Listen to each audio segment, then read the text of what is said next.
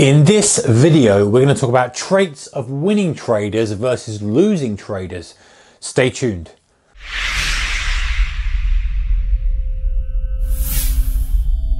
Hey traders, a very warm welcome to you. Okay, so some of the traits that I've observed of winning traders and losing traders, the comparison between the two. We've done videos before where we've seen the traits of winners and some traits of losers, but this one is actively comparing the difference in I guess the way that they see trading, of winner versus loser, the way they respond to things, the way they react, the way they approach it, the way they frame it in their mind.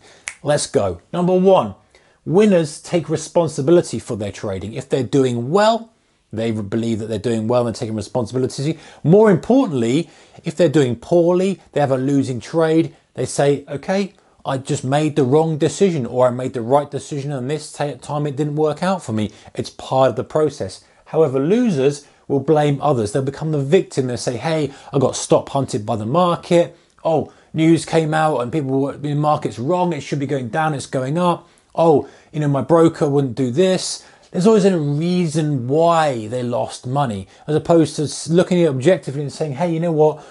It was a good trade. I lost money. Or you know what? I didn't really pull the trigger right on that. I need to refine this. I need to do that. Responsibility for their own actions. That's a big one. A lot of people are always blaming other people uh, for their losing trades. Number two, they winners do more study, less trade. Losers do more trade, less study. What do I mean by that? Let me explain. Winners are studying the next strategy. How can they improve their current trading? Where are their losers coming from? Where are their winners coming from? What market conditions? What do they need to do more of, less of? This kind of stuff, no, they know that that's what's going to help them improve their bottom line dramatically. Losers are just trading. They're not doing any studying. They're just sitting in front of the computer I'm going to long this, I'm going to short this, I'm going to long that. They spend all that time just actively trading or watching their trades, or rather than studying the information they need to make better trades or less frequent worse trades. That makes sense. You get the point. Working on their craft as opposed to actually physically pressing that button. Again, that's a big one. Okay, number three, enjoying the process, dream of the big win. What do I mean by that? Winners know that it's going to take time. They know that the returns are going to be good, bad, and there's going to be a kind of medium between the two. And they're just enjoying the process, the learning, improving, getting better as a trader, all the experience they're gaining. It's all helping them. As opposed to the loser who often has the mentality of, oh, I'm, going to make really big money on this trade. Oh, you know, that's, this, this is going to be a really monster trade for me. This I'm going to go in big size on it. It's going to make me a lot of money and have a really kind of different attitude to trading to the winners. They're looking for that big win, they're dreaming of it. They don't really have a there's nothing wrong with kind of looking for the big wins and for you know the lofty goals, but what's your path and what's your process to get there? The winners will enjoy the process and more importantly, they will have a process. They'll say, okay, this is my account size, this is what I'm going to do, so I'm going to trade. Is it in line with what I expect? Yes, it is, etc., etc., etc. Building up to the point they want to get to, as opposed to the loser guy who says, it's just a big win. It's the big win. That's the one that's going to get me there. Number four, realistic returns versus unrealistic returns. I mean, I don't mean actual returns that they're getting, but I mean that what they're expecting. They're expecting realistic returns versus losers who expect unrealistic returns.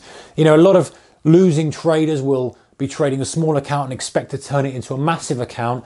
And you know, you say, well, even if you're greatest trader in the world, the risk of ruin is really, really high for the size you're trading. So, you know, have that expectation there. Or you're trading such a small size, the chance of you scaling that to a significant amount is is slim because you're going to have some drawdown here. It's just a realistic way of, of framing what they're going to do. Whereas, you know, good traders recognize maybe their capital is handicapping them a little bit. Maybe they're this and that, and they know they've got to make the decision do I amplify the risk, uh, amplify the potential reward, but then I've got a risk of ruin?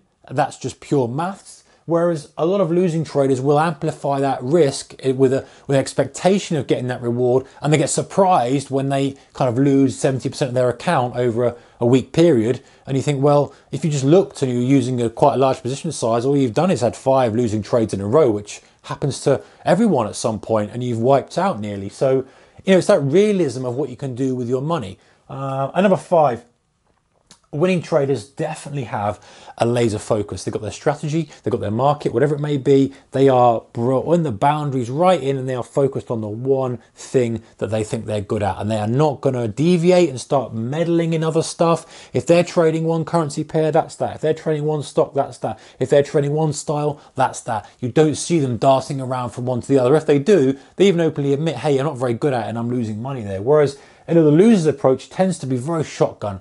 I'm trading currencies, I'm trading gold, I'm trading this, I'm trading that, I'm trading mean reversion, trend trading, gap trading, this trading, that trading, and they don't have a laser focus. It means they can't get good at one thing. That's very common as well, guys. Number six, uh, winning traders have a real business-like approach to trading. So they've got good records, they've got a good plan, they've got a good strategy, they've got um, ideas for risk management, ideas for strategy creation, ideas for scanning, ideas for reporting, ideas for taking a break, ideas for when they're going to uh, do their study, ideas for when they're actually going to trade, all planned out, all prepared. Whereas the losing traders, generally, it's a hobby, it's a recreational thing. They come in, they start the computer, I'm going to trade, I'm going to go do some trading. And they go in and they look for a trade and they take a trade. You know, that that's the distinct difference between the two. And do you know what? If you can align yourself with this more than this, then you're going to have a much better chance of getting to where you want to be as a trader. You know, if you find yourself doing all these kind of things, the chance of you being uh, a success in, in this business is pretty slim, unfortunately, just from seeing the people that I've seen and just knowing how, um, you know, people behave. If you can kind of take more down this route, I mean, if you've got some of these already, try and get rid of a few and, and come into this column. It's not going to be an instant fix. You know, you can't say you must do this immediately. I get it, you know, life is life. But if we can align ourselves more with this winning approach to trading and how the big guys who are doing it, the guys who are consistently making money, the guys who are still here multiple years down the line, then that will serve us better in the long term. All right, guys, thumbs up if you like this kind of stuff. Don't forget to subscribe if you haven't yet already for more videos from me and other traders on this channel. Take care. See you in the next one. Goodbye.